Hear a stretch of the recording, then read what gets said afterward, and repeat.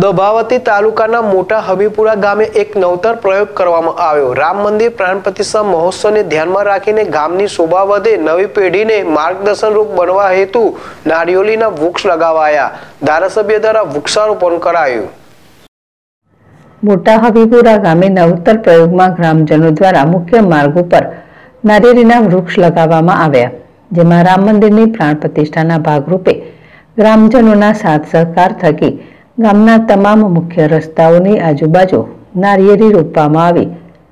તમામ ખર્ચ ગામના વડીલો દ્વારા કરવામાં આવ્યો, જેથી આવનારી પેઢીને સારું વાતાવરણ મળી રહે.